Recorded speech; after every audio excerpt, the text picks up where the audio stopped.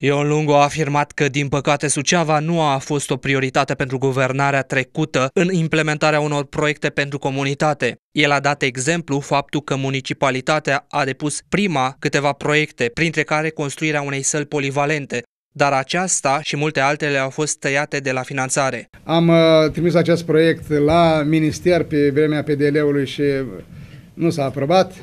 Și, da, și nu s-a aprobat și nu mai vreau să comentez, văd că sunt multe critici. Din păcate am fost mai mereu singur. Am avut parlamentari de Suceava, am sprijinit, dar nimeni nu s-a implicat efectiv în sprijinirea unui proiect în Suceava.